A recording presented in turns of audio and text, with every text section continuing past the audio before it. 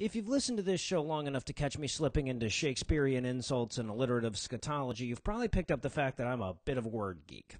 And if you hadn't, that introductory sentence probably did the trick. So, with apologies, I have to address some issues of grammar, and I know that there are plenty of topics in atheism that are far more impactful than word choice and capitalization, but damn it, I've made it 131 episodes without letting the grammar Nazi in me take over a diatribe, and a recent email I got from Lamar made that a trend that was probably impossible to continue. Now, Lamar falls into a category that I call zero sum atheists.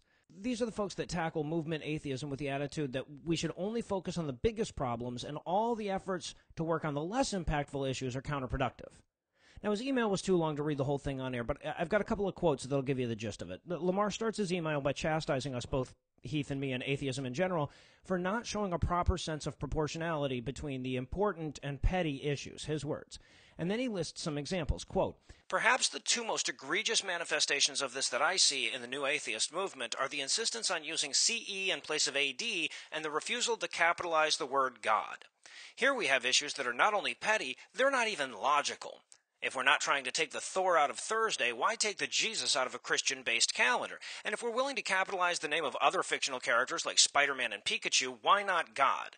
Skip ahead, skip ahead, skip ahead, and then he concludes, quote, Atheists need to learn to recognize that they're not immune to illogical and emotional arguments, and you're in a unique position to lead by example. End quote. So, in response to Lamar, I'd like to start by agreeing that yes, atheists are not immune to illogical and emotional arguments, and then I'd like to thank him for demonstrating that fact in his email. Because it doesn't matter how many people are on your side on this, Lamar, you're wrong. I, I mean, you, you, know, maybe your overall zero sum point is correct. I don't think that it is, but I'm not in a position where I could like definitively prove that it's wrong. But I can definitively prove that the examples that you chose to support it are wrong, and then I can leave it to you to decide what that says about the larger argument. So first of all, it's Thor's day, not Thor is the one true God day. The term Anno Domini means in the year of our Lord our Lord. And thus, when attached to the fictional birth year of Christ, when one says 2015 AD, what they're actually saying is 2015 and I accept that Jesus is God. Yeah, I mean, if there was a month called Christober, or if, if we called Hump Day Odin could beat up your God Day, the analogy would hold, but there isn't and we don't, so it doesn't. And while we're on the subject, by the way, the term CE was popularized by Jewish scholars, not atheists, and it dates back to at least the early 19th century. But even the modern push to use CE in academic circles is far more motivated by religious pluralism than by atheism. Know, I guess it's not enough for the Christians that their Jesus based system gets to inspire the year that everybody agrees to use. I mean, the academic world could just as easily have used the much older Jewish calendar or the Hindu one, or, or maybe just make up a reasonable one that starts on a thing that actually happened and has 13 28 day months and an extra one on New Year's. Think about it. That would make so much more fucking sense. But no, we all agree to use their fictional Jesus Day, the one that even biblical scholars agree would miss the birth of Jesus by at least three years, assuming he existed.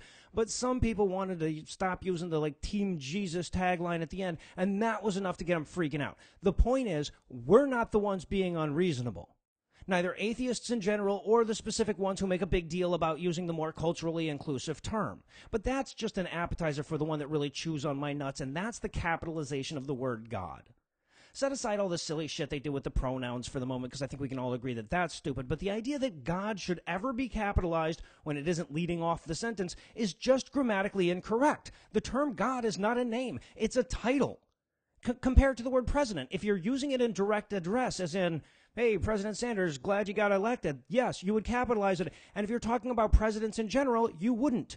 I, I, but even if you're talking about a particular president absent his name, you wouldn't capitalize it. If, if I wrote, I would teabag the president if he asked nicely, I wouldn't and shouldn't capitalize it, even though I'm clearly talking about one particular president. I think we all know which one I would teabag. But, but, but the point is that the same thing holds true with the word God.